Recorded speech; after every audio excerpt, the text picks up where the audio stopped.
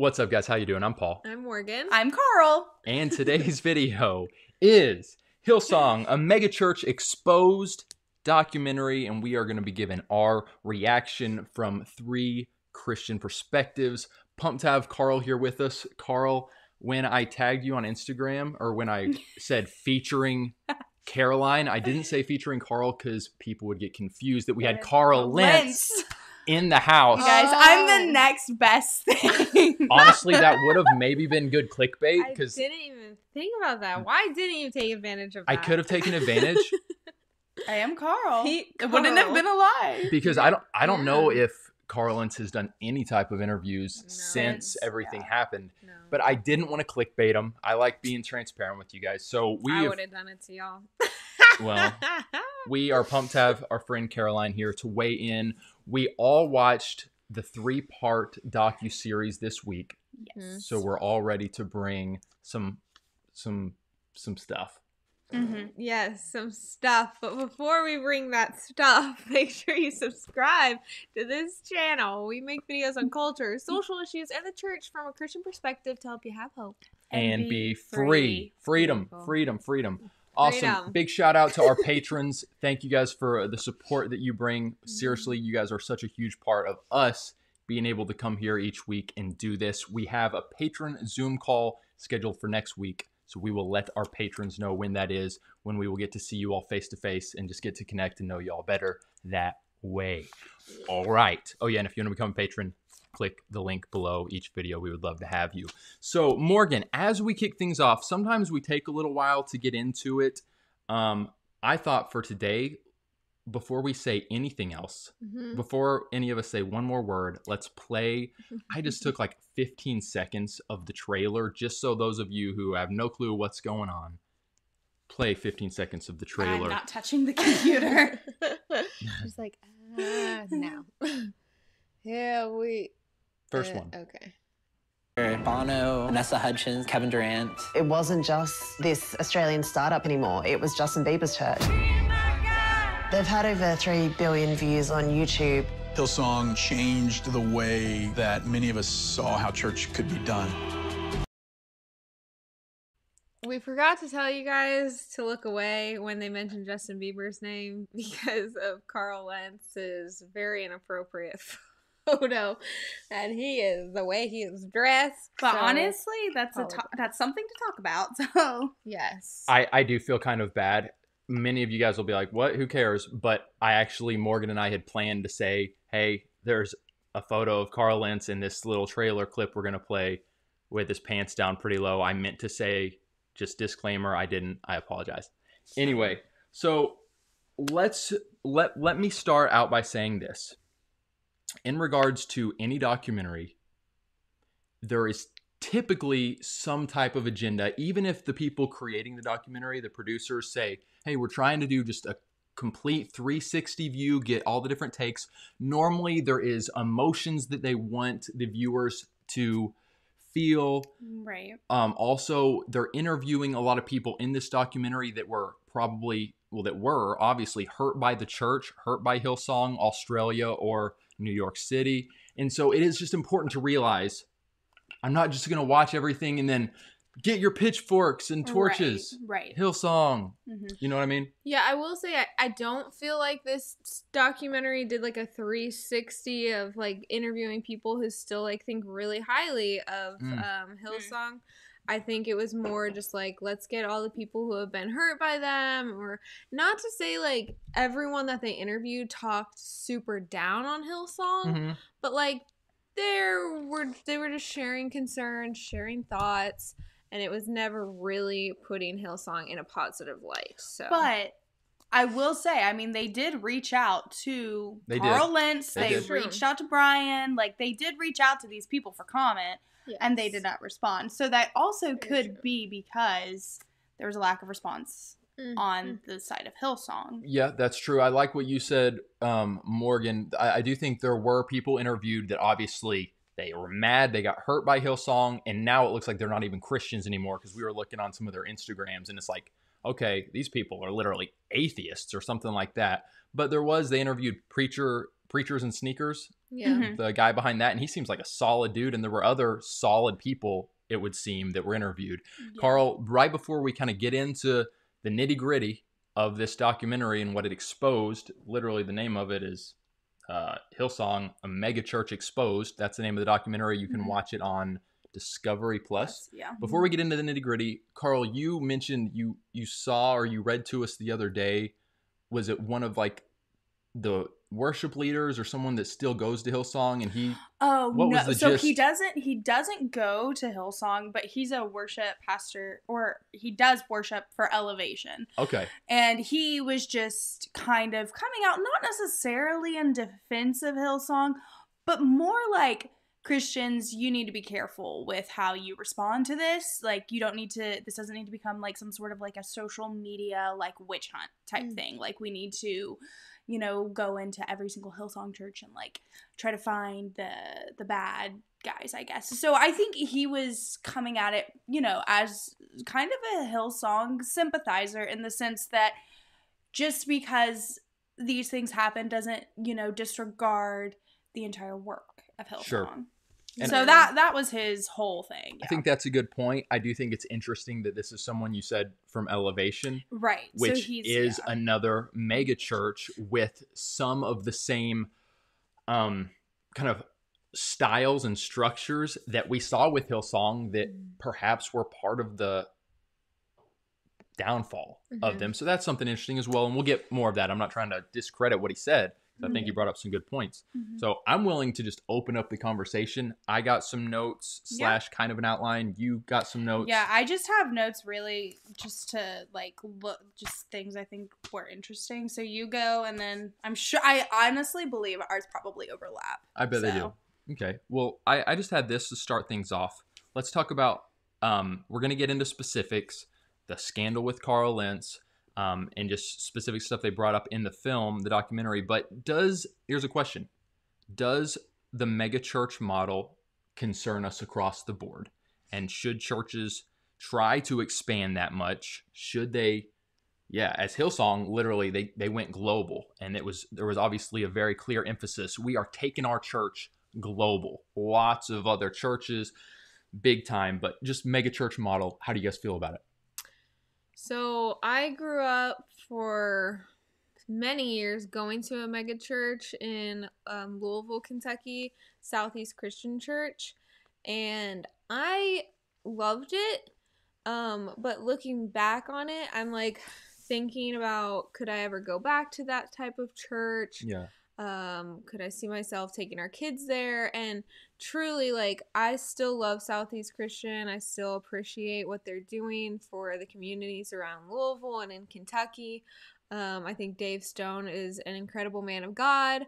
I don't know as much about Kyle Idleman. He's now the like head pastor, but anywho, I could not go back to a mega church just because I feel like the community and like the fellowship was really hard to find and i found it in certain ways because i just got very plugged in and volunteering and, and doing that type of stuff and i mean i was volunteering a lot but um yeah i don't know i just feel like mega churches are just not where it's at but that's i'm saying all that and like i had a really blessed time Okay. at my mega church Well, real quick, uh, Daniel says God still uses mega churches for His glory. Mhm, Michaela says mega churches are concerning things. mhm. Um, Abby says it's easier for mega churches to fall because I feel like these pastors aren't held accountable. Well, Carl, what are your quick thoughts on that? Yeah, so I grew up in like the opposite of what Morgan grew up. Like I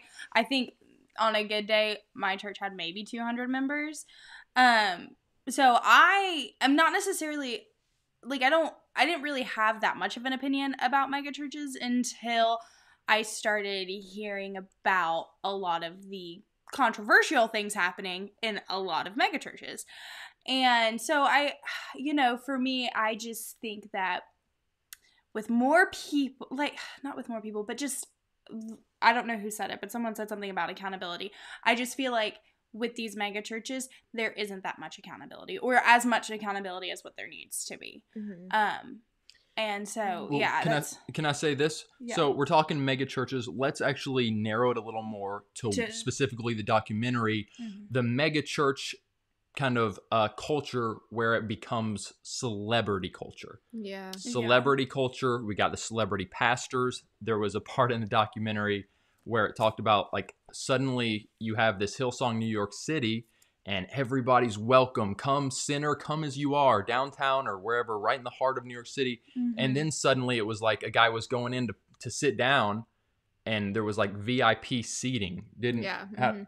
Uh, one of the volunteers was talking about how one time he sat someone down in Yeah. a reserved seat that he didn't know was reserved, and he got pulled to the side and got yelled at and was like, "That is for our celebrities. You can't sit normal people there." so suddenly you've got the celebrity culture coming from the pastor down that is like okay this is a whole nother ball game your Mhm. uh, mega church experience and I, I have some concerns definitely with any mega church just i do I Mhm. still think good good fruit can come out of them, and I'm grateful for so much that they do. But man, yeah. there's potential for a lot of downside with mega churches. But then you take it even more narrow.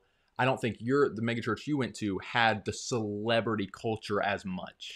Yeah, I remember like a specific time when Peyton Siva came and like he was a U of L basketball player and was very well known and a big star in Louisville and like he became friends with um, the son of Dave Stone and so he would come and like sit in the very front row with like Dave Stone's family and I just remember people like you know wanting to go up to him and they had like some security of like hey you guys need to give him a space Ooh, whatever So there is a little bit. so a little bit. It's it's kind of disturbing, like the special treatment given to celebrities in this Mhm. church environment. Like, I think when you take on the role of being a celebrity, like when you are a celebrity, like you and you want to go to church, that's fine. But I just I don't think like the church having specific seating Mhm. for celebrities is is at all what the Lord would have wanted. I mean, Paul gets on to Peter about like um you know uh gosh in Corinthians or was it in Ja- Galatians? James, there's a spot in James that talks about you know if you're like favoring favoring certain Yeah. people that have a better, more expensive image in the church. So literally, some of these churches, it seems like they're doing literally the opposite. of what we're told to do in scripture. Yeah. and that's where i start and like that might not seem like a big deal to you guys but as like the moment you start deviating from the model that scripture gives us is the moment that you really do need to take a step back and ask yourself like what else are we deviating from because more often than not if there's one red flag Yeah. there oh, are multiple that's mm. where there's smoke. There's often a fire. Let's let, as I'm thinking about the celebrity churches. Let's just talk about like the pastors of celebrity churches. yeah One thing that I will totally admit that I am guilty of in the past, and I hope that I, I, I believe, hopefully Morgan, you would agree, What are you about to say? that I've come a long way in getting kind of like amazed or uh, yeah what's it called? Just like starstruck starstruck by a pastor who is cool, who is good looking, Mm. who is super godly and super charismatic, and he delivers the message with so much confidence and coolness. And I would say I used to be, I was like, okay, I love this person. And now I hope that I have yes, yes, you've come. come a long way. But I think that that, I'm just, I'm just saying this with a lot of conviction. I think so many people get, I mean, right now there's 380 in the chat. Guys, it's so easy to say, this person up on stage, look at their image. They're super spiritual. They are super uh, good with words and they speak with so much confidence. I just am putting them on a pedestal. Yeah. Don't do that. And I mean, and I think that that's where, like, I kind of want to take it back to the documentary a little bit. It was very intentional in talking about how intentional Hillsong is with that. Like, they aren't hiring ugly preachers. and that's and that is a great marketing technique like this is not just like oh they found someone that was really cute like they Mhm. sought this guy out like they knew he was going to bring people in the door Mhm. and so that's also where i'm like this is this is kind of disturbing i mean we're seeking out people who are Well, and it's not just that beautiful to he's it's not just that he's good looking, He's but got the way charisma. he He's dresses a like person. he dresses like a superstar. He's the coolest guy in the room. Like you said, Mhm. he's so good at just his delivery. Yeah. And at some point, not not that any of that stuff is necessarily bad, even though I feel like, you know, when you go from dressing cool to dressing cool and your outfit is ten thousand dollars, Yeah. there's kind of a difference there. There's a little bit Mhm. of a Yeah. Well, and I feel like what was revealed big time throughout this docu series is that Hillsong specifically, but you know, you could probably look at a lot of mega churches and see that they're not running as a church, they're running as a business, as a corporation. And when you start running your church like a corporation, like you've just gone the wrong direction. Mm-hmm. And it's not to say that we shouldn't have this desire to reach as many people as we want, but I think like as I was watching it, I was just like, are we meant to like be this big like as as a s- We're one going specific church? We're going global. We're taking Hillsong to the world. All the ritziest places in the world. Well, Uh, and yeah. that's like I think that's where I struggle the most is that I think as a church in general, the Church of Jesus Christ, like I do think we are meant to reach the far corners of the earth. Mhm, But as a individual brand, mhm. as a as Hillsong, you know, enter in whichever one, I Yeah. don't think so because I I genuinely believe that when when we start getting that big, Mhm. our heads also start getting pretty big. Right. It's like if the church at Corinthians decided to brand and it was like the church of Corinthians in Thessalonica, the church of Corinthians in Right. Rome. Well, and that's the other thing too. And it's it's like Hillsong I think started on the foundation of Jesus. Mhm. And but there's this passage in Corinthians, I think, I don't know. But it talks about how like you can build your foundation and it can be on Jesus, but then if you start building other foundations on top of that, like other, that's any not going to work. other than Christ. it's not going to work and so I Yeah. think the um one of the I can't remember if it might have been the guy with the sneaker thing. Preachers and secrets. yeah. that was a cool guy. But there was some person on there, I can't remember, even though I literally watched it today. I should have written his name down. But he gave like the six C's for Hillsong Oh, yeah. church, concert, CDs, college, cinema, and conferences. And I feel like those, like, that gets at really the heart of like what it looks like to not have like ministries like offshooting your church, but like to have separate foundations that are not of the, you know, like concerts and CD. Like, it's just, it's, it's Yeah. very, it's very concerning. business. Well, one line that um, there was a Ukrainian pastor, him and his wife, who were like pastors of a Hillsong church in Ukraine, in Kiev. Uh, they were being interviewed, and he talked about how, you know, he was being really pushed to build this church in Kiev and and whatnot. And supposedly Brian said to him, "You are building this church for me," and the pastor in Kiev was like. "N- No, I am not. I'm building this church for Jesus Christ and to save souls. Like, Mhm. this isn't for you. And to me, that just shows like this mindset shift of it's no longer about Jesus, it's about me and my brand and what Yeah. I've built in this business, this corporation. And that's really terrifying, honestly, and sad. It's really sad to see that. Yeah. Well, and- oh, go ahead. No, and I I know I initially said that it was built on the foundation of Jesus, and it may have been, but I don't want to ignore that while the initial Hillsong was being built, Yeah. the founder was touching little boys. Was That that's not just touching. it. them. Appe- it appears that that was absolutely there that's the an case. indisputable fact. And so with that being said, I do think that should cause us as Christians to be like, okay, this might have been built in the name of Jesus, but was Mhm. it built on Jesus? I don't know. Yeah. and and I think that we Yeah. really need to take well, inventory. it's it's one of those things that it's like, okay, the Can Ra- something good come out Right, of the- someone who is and that's a that's a Mhm. debatable thing. You got the Ravi Zacharias, and it's like he Yeah. he did so many things that I believe produce good fruit and then suddenly it's like wow during this all this good stuff he was living in deep secret sin so can the good fruit still remain yes but Yeah, it goes to show that God can use an evil man to do good, but it makes me question, like, God, why did you use, Use an him, evil man? Like, why did you let his one thing you church said take off? as we were watching this you were like okay this guy's What? so Yeah. perverted yeah. and yet their church is starting to grow and, and blossom like god why and Yeah. man the Well, mysteries and that's of where I start to wonder is did God have anything to do with it? And I know that's a very controversial take, but like Hmm. Satan also works. He also, he you know, masquerades as an angel of light and so I'm not saying Yeah. that I'm just saying like Right. I don't think that this was a missed opportunity for Satan.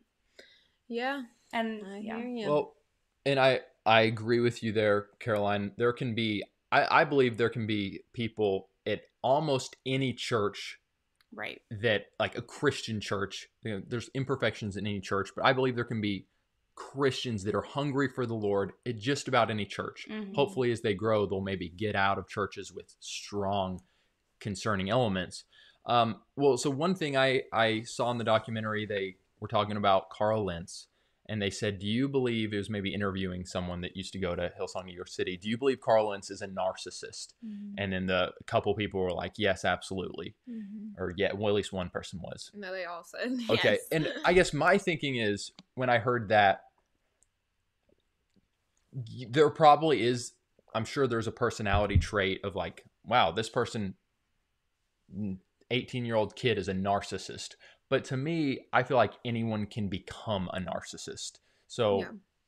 to me, it's like, who what, was Carl Lentz a narcissist in high school? M- maybe Well, they talked about his experience in Yeah. high school, and it sounded like yeah, he He was. was player. he was a player okay Yeah. but but to me it's like it is when the culture becomes um where you're literally kind of worshiping this pastor Mhm. and he becomes a celebrity that I, I feel like okay i guess my point is you could take a very humble man It could be anybody. and really. then Oh, yeah. five years Yeah. later Give put him in this mhm. situation Mhm. they are a narcissist Yeah, put him in the spotlight, give him some power.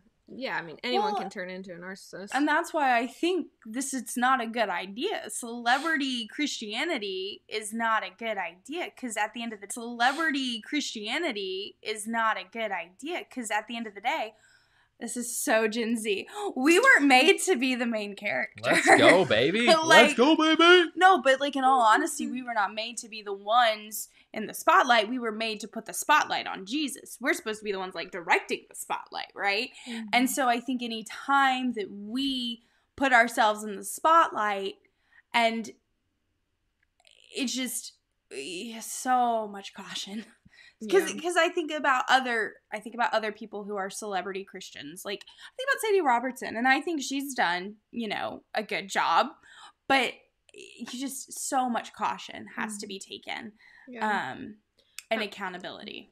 I mean, oh even gosh. with our small platform that we have here, This on one gets a big head all the time, let me tell ya. Crazy girl. Thinking she's all that in the i'm keeping her humble totally kidding. I was like, wait, is she being serious? oh you're gonna make the pregnant lady cry Ugh. no, but No, if anything, I get a big head. I'm like, yeah, no problem. My God. oh my goodness. But no, seriously, even with our platform, like we have to be like, you know, we'll uh, for an example, someone sent me a message today and uh, sent like a reel and was like, "Hey, I think this could maybe be a word for you. I think you guys are becoming too legalistic." And like my first reaction How is Who sent you that? How? d- Okay, Caroline, get on it. my first reaction is to be like, okay, well, who are you? And but and then like Paul and I were talking about it, and I was like, no, like this seems like a genuine person who she said She's like obviously she misguided. loves our video. She's obviously very misguided, but Stop.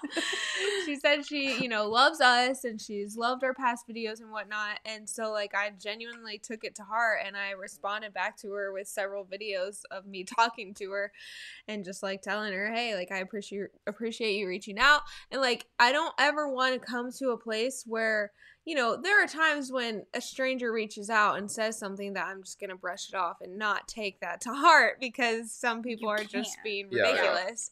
But like, I want to always be in a place of receiving correction from the people around us, um, you know, our friends and family, and even you guys, our patrons. Like, I don't, yeah, and I feel like as soon as you become this celebrity and people can't ever speak into your life, even your mentors won't or don't or can't speak if you're your surrounded life. by just yes men and i think we actually probably see that in regards to certain celebrity pastors lots of yes men. Yeah, and it's almost impossible for genuine criticism to to get through to Yeah. penetrate.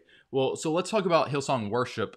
Um worship was a fairly big element i think was it episode one or two I think it was one One. or maybe two. I don't know. I can't remember The first two were really about like Carl Lentz and like And the- that whole.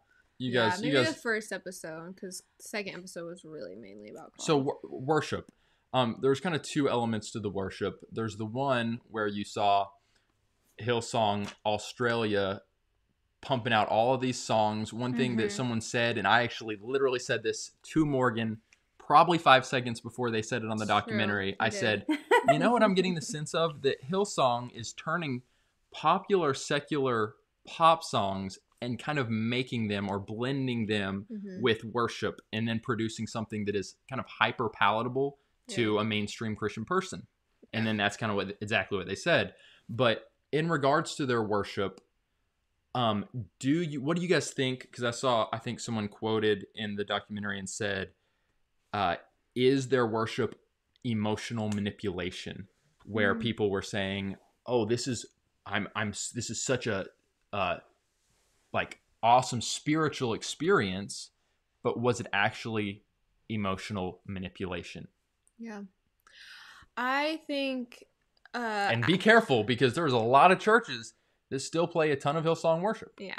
Yeah. As a worship leader, you know, I don't think it's wrong to have pumped up music, to have uh, the drums or the piano playing in the background as like a pastor is, is praying and stuff.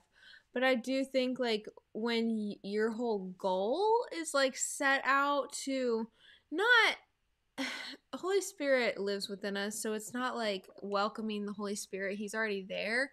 But it, that like kind of becomes your mindset of like oh we want to get people in their feels bring up that bass at this time because Turn down the lights at this time. because that's really gonna move people. Like that Yeah. seems wrong.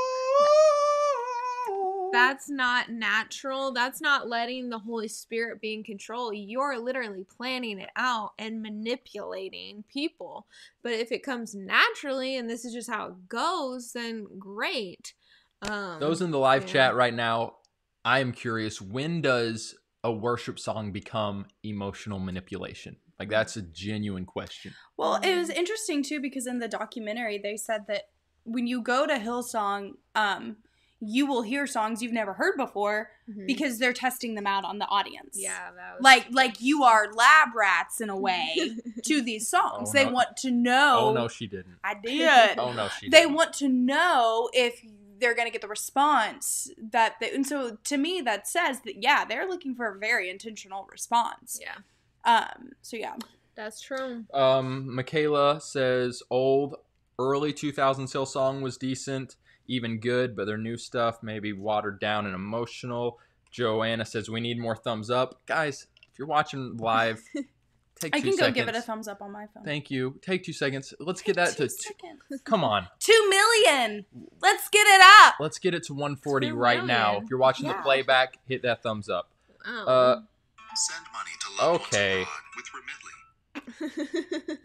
okay. Um, let's see. i saw somewhere where someone talked about how they're trying to mold god to fit what we want as opposed to us molding ourselves to fit god like in regards to worship and i thought that was Uh, good yeah i'd definitely say that's a thing uh, real quick. So Brooklyn says, "I, i, feel." liked it I f- thank you, Carl. Thank I feel like when they use repetition in the lyrics, okay, but even you got old hymns that See, that I like that. repetition because sometimes it takes a moment. For sometimes it to you really don't hit know the song either That too. like me, Uh, and so having a very repetitive song is kind of Why. Dia Mo- uh, says music is intended to bring us closer to God, to praise Him, not to make us feel good.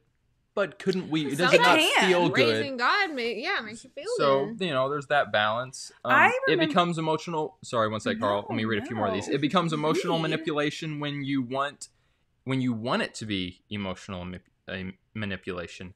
That is a little too deep for my brain Meaning, right now. like when the church behind the scenes is right? like, Like the song in and of Oh. itself might not be like emotionally manipulative. Rachel says, I think it becomes emotional manipulation when it starts talking about self rather than talking about Christ. Mm. So many of these songs are treating Jesus as our boyfriend or girlfriend. Whoa. Um, I think it all comes down to intention behind the production. I I like that because if I'm being honest, as I get a little older and perhaps a little bit more Wiser.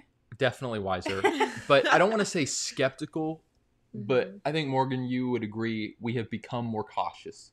yes, And I start looking a little closer at we talked about Maverick City recently and seeing them get their award at the Grammys and and maybe certain people at Elevation and just wonder I wonder to myself because I can't make a strong judgment just based off of maybe some small things. Maybe I can start to develop some type of judgment Mhm. depending on how much I've seen. But sometimes it's more of just, I wonder what that person's day to day Christian walk looks like. What does their life look like? Because they're up there on the big stage leading Mhm. this worship set. But what is their heart before God truly like? Yeah. Yeah. Well, and that's, I mean, another part of the documentary. A guy who was a worship pastor at Hillsong.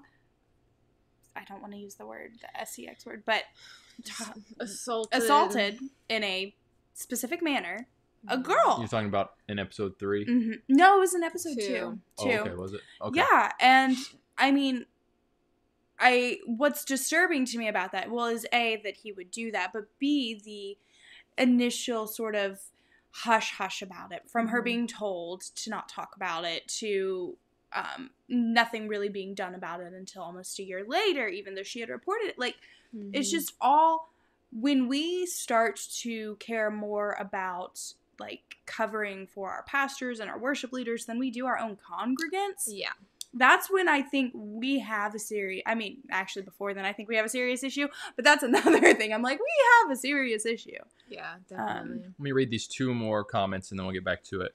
Uh, Samantha says, I don't think anyone who's hearing Hillsong music for the first time would be able to tell it apart from normal pop songs.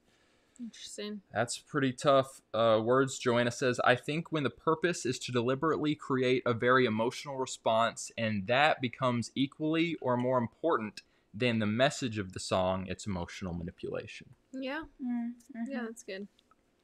Very good. Very good. So the last point I had, you guys, was um, it talks some about the money abuse.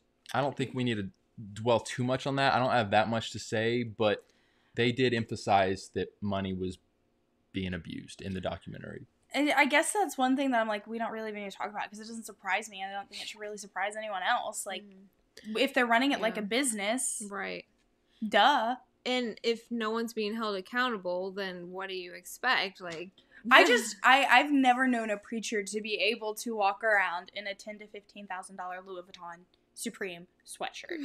That's not something that like I think Wild. preachers. That's not That was a. that was a, swi- a sick hoodie though. oh, it's it is. That's Oh, a one sick hundred hoodie. percent. Do I want my pastor to be wearing that?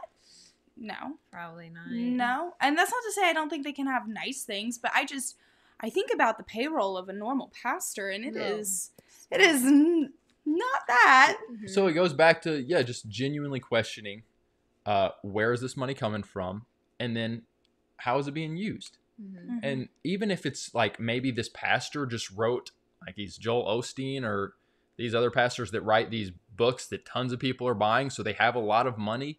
It's still, if he's wearing a $10,000 hoodie, that's gets a little, but icky. But it went a little further in this documentary of uh, saying that people had credit cards that they were given by the church Mhm. and they were they- buying like expensive purses with. like with tithing money. Yeah. Yeah. That's a, according to the documentary. It's I would be And really. hotels and I didn't. whatever. I didn't have time, but I would be really interested to look into like obviously like Discovery Plus ran the documentary, but I'd be interested Yeah. like to figure out well exactly who these people are that. I would because that is is like is that going off of a little bit of just like oh I I would hope that these facts in the documentary and some of them are very public knowledge like obviously the Carl Lentz scandal very public Mhm. knowledge but stuff like that like oh they were spending credit cards on expensive hotel rooms and purses like I'm sure that probably did happen but yeah, Mhm. yeah, but it would be interesting to like know for sure.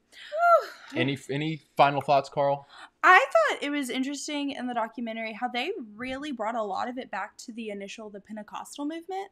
Mhm. Um Mm. and I I don't think I'm curious because Hillsong falls under the Assemblies of God. Assemblies of God Church yeah and so when everything happened with Frank, the initial founder of Hillsong, the dad and that kind of got swept under the rug. Brian Houston's father And then when Brian Houston got found out for knowing about that situation, and that got, I'm just trying to figure out where the Assemblies of God is because I know. So I grew up in the Presbyterian Church of America, and any time something crazy happened or big happened, like I remember, like my pastor, like they go, like they Mhm. uh, meet together and they talk about whatever and different. So I don't know. I would be interested to to sort of see where the assemblies of God is in this because it's concerning to me that they're in a sense kind of okaying this or they knew about I mean they knew about Frank. Mhm. They knew what he did.